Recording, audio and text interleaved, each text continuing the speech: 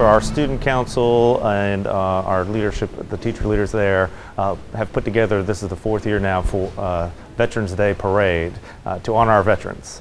Uh, we're off during Veterans Day, but uh, we want to be able to bring our veterans into school, get our kids connected with their moms, dads, aunts, uncles, grandparents who served.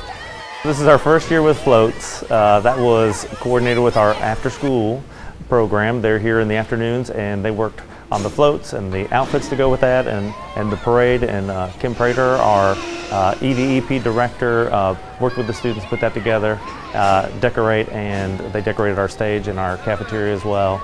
And so they used our after school time uh, to help get ready for our parade today during school. And we come into our cafeteria and do a question and answer.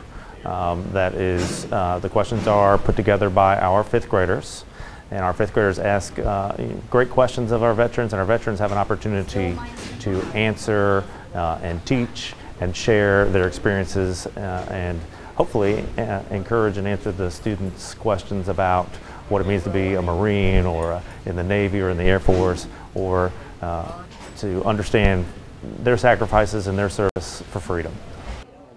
I never expect all these kids, you know, being so grateful and thankful to the vets.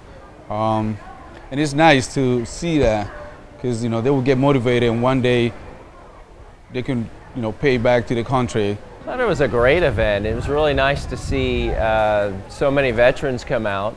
Um, I came here last year. I think there was a, a, lot more this year, so the event seems to get bigger and bigger, and it's nice to see all the kids that came out too.